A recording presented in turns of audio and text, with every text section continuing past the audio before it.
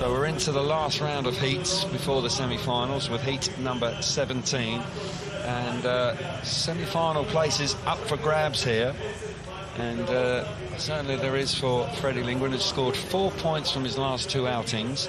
He sits on five points in total and uh, needs a heat win here if he wants to make the semi-finals. Likewise for Anders Thomsen, who won last time, albeit looking a little uncomfortable. heat, heat victories on the countback are going to be vital as well, of course. So uh, if he manages to win this one as well, that would be very useful indeed. Two heat wins would be a very good chance of making semi-finals with got gate number three. On the inside in red is Martin Vaculik.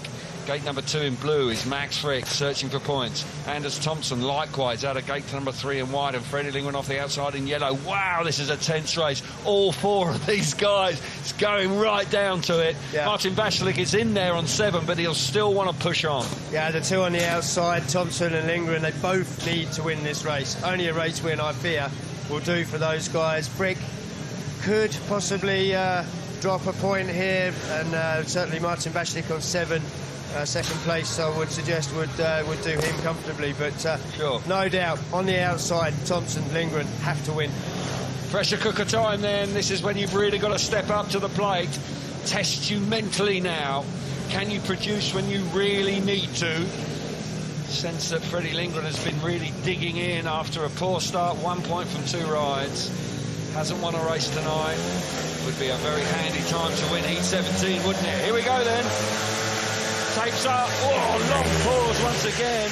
Roar into the first corner. Martin Vaculik, but here comes Lindgren round the outside. Can he get there? Oh, yes, he can. Superb start from fast Freddie Lindgren. Really needed it. We've got problems for the riders at the back. Anders Thomsen, that's disappointment for him.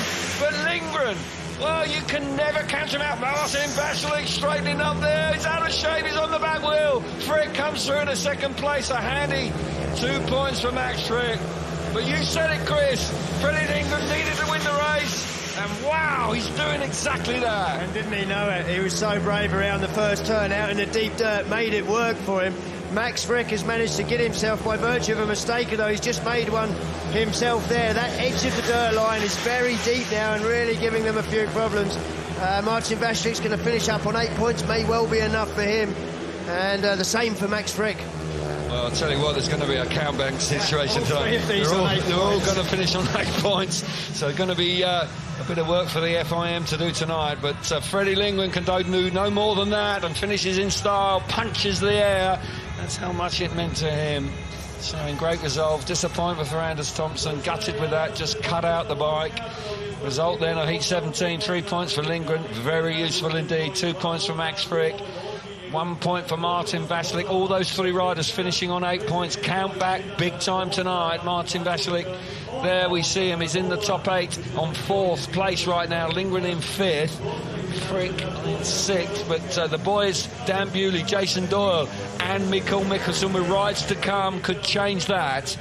So uh, it's going to be awfully, awfully tight with three races to go before the semi-finals. I want to first turn this from the rider in yellow there. Martin Vaculik in red makes a good start, runs to the edge of the dirt. He hasn't gone far enough.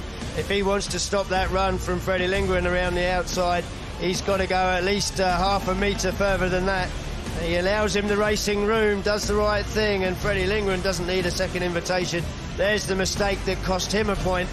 Uh, and uh, Max Fricke up the inside, but uh, all three riders that finish this race finish up on eight points. It's getting tight.